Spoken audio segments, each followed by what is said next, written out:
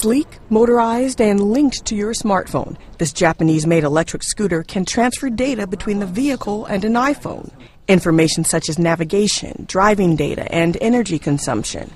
I think it's got a very, very good future, especially since the oil price going fluctuating and going up so much, especially where I come from, Nepal. The e scooter has a lithium ion battery that takes about four and a half hours to charge, and it can reach speeds of 18 miles per hour for about 18 miles. It's part of a growing global market, driven by rising economic growth and lack of transportation infrastructure.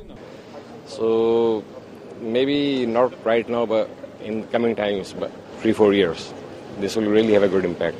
Android compatible models are in the works, as are apps for all smartphones. The Japanese venture company is focused on developing the newest, most innovative, and coolest motorcycle in the world. Their goal? Beating out the competitors in Silicon Valley. The first 200 units go on sale in Japan and Vietnam this December for about $4,500. Naya Hawkins, Associated Press.